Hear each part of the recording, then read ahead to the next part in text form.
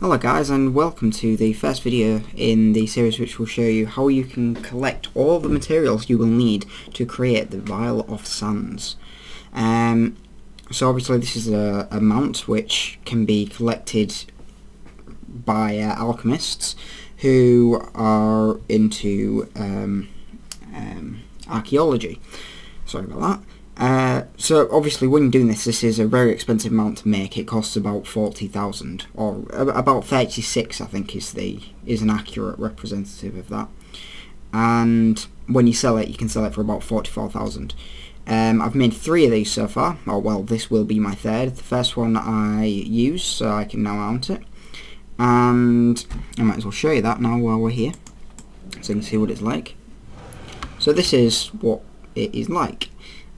Um, but when you've created this, obviously you can sell it, and that is quite a, a good way of making money. You make about eight. I can make about eight thousand profit from it, so it's not bad for a few days' work. So, as I said in this video, I'll be showing you the quickest way of making all, or of collecting all the materials in the cheapest as well, in the cheapest way. So, as you can see, I haven't got them all, but I've got all the materials needed to create the rest. So, uh, I'm going to create the rest and um, show you where everything is. So, if you follow on with this, you'll be able to see how you can actually farm all the materials. And these are um, pretty much all of them. And any others that aren't here I will be talking about anyway, so don't need to worry about that. So the first thing you need is the 12 true gold. Again, if you buy these yourself off the auction house, on my server they're costing about 330 gold. But what you can actually do is go out and farm some volatile fire, volatile air and volatile water.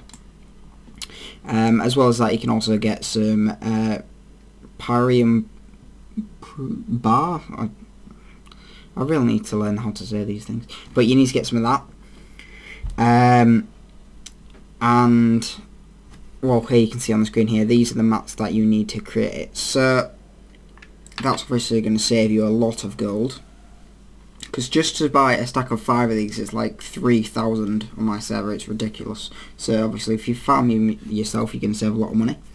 So the next thing you need is the deepstone oil. This is created by getting these albino uh, cave fish.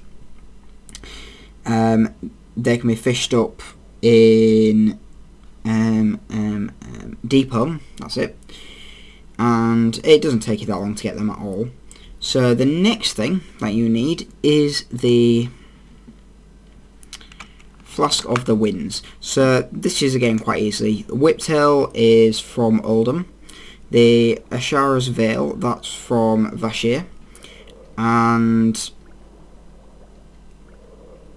uh, the Volatile Life is collected from any herbs you get in Cataclysm. The next thing we're going to be creating is the Flask of Titanic Strength. So again, this is quite easy as well. Cinderbloom, you can get that from Deepholm or um, Mount Hyjal. Uh, Whiptail again, Uldum, and Volatile Life. Anyway, so I'm going to make all of them. And then we should have all the materials needed to create this. Um, before I carry on, I will need to talk about the pyrium laced crystalline flask, I think it is, or vial. Right, this costs a hell of a lot. It costs something like 8,000. Um, I'm not sure. But you can get that from Uldum. And that's at the back on the map. I'll be showing you where you can get that in one of the videos. The next thing is the Sands of Time this can be purchased from Uldum as well as in the um, um, Vale of Eternal Blossom, it's called. And again, they're quite expensive. And they make up the bulk of buying this. So them two together come up to something like 20 odd thousand. So you need to have the gold to buy this. But once you have, you can make it and you can sell it and as I said it does sell for quite a large amount see there auction house 47,990 um, so if you can make that for about 30,000, you've made 17 or 18,000 profit. So I'm going to be selling this and um, I'll add to my collection of gold and then I might be able to go through and buy some more mounts. So um, sorry if this video has been boring but at least it'll give you a bit of an introduction as to the kind of materials you'll need to buy this and how you can get them all. So thanks for watching and um, I'll see you in some of my other videos for the farming and collection of all these items. Thanks guys, see ya!